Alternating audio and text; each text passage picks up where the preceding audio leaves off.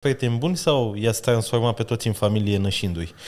Uh, prieteni e foarte complicat. Mm, Rudele sunt rude, dar prieteni nu există. Nu există prieteni. Nu există prieteni? Nu, nu, nu. Nu există prieteni pe planetă.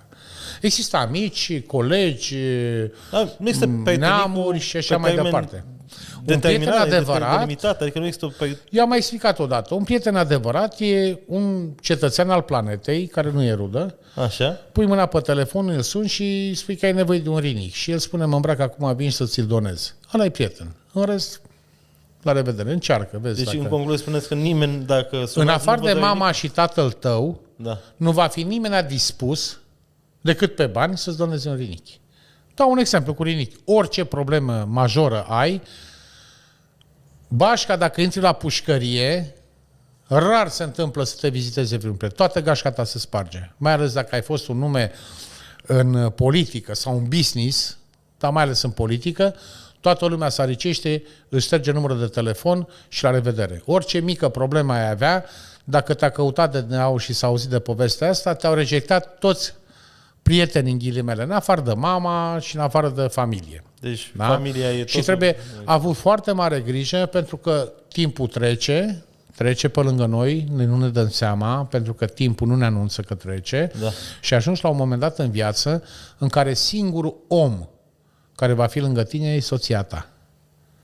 Nu mama care e plecată în eternitate, nu copilul tău care are familia lui, nu nimeni, nu prietenii tăi care credea că ți prieteni. Deci, alege cu grijă. Alege Cine cu va fi lângă grijă tine? cine va fi lângă tine în momentele în care depășești 65-70 de ani. Dar ca să ai pe cineva lângă tine, trebuie cultivat lucrul ăsta cu 10-15 ani înainte, da? Și nu te apuci să cultivi atunci. Dacă îți permiți, cum a fost la uh, boșorogul din Playboy, care avea Evrai. niște pipițe pe lângă el, era iubit de toate, s-a și însurat, el avea 90 de ani și aia uh, 20 de ani, da? Da, și la interviu a spus, cum să nu-l iubești? Uite-te la el cum arată, era un fostil. Da, da, ai înțeles? E, trebuie să ai grijă, pentru că omul cu care vei rămânea uh, la bătrânețe, cu ăla o să împarți binele și rău și atunci vor fi niște momente penibile de medicamente, de lucruri medicale care se întâmplă la oameni în vârstă și așa mai departe. Îți dai seama, e nasol, mai faci o m, operație, treci cineva să stea da, cu tine, nu da. stă nici dracu. Da, așa e. La șpriț e plină masa. În spital după operație nu e nici dracu pe lângă tine, înțelegi? Nu vine nimeni, că de ce să vină? Păi dacă nu e șpriț, ce să bem acolo? Spirit medicinal? N-aș vrea văzut o operație, mă sunați că vin și aduc Bă. și șprițul. Am înțeles că așa facem noi acum, peste 20 de ani îți trece și ție și așa mai departe. Pentru că așa e lumea făcută. Nu e o chestie care mi se întâmplă mie sau ție, da. se întâmplă lor, tuturor vi se întâmplă.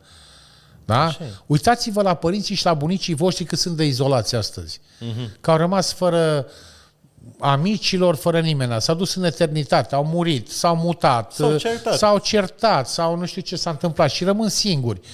Uh, N-ai pe nimeni, cel mai grav lucru la bătrânețe e singurătatea.